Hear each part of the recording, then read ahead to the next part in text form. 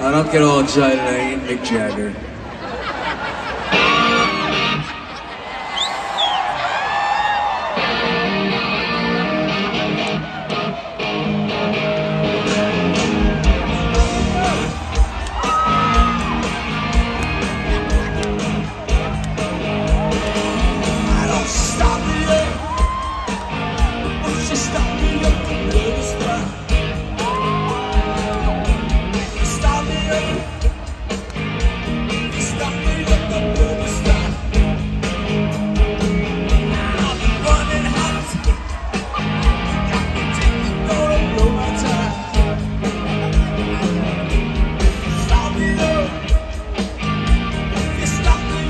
Never stop.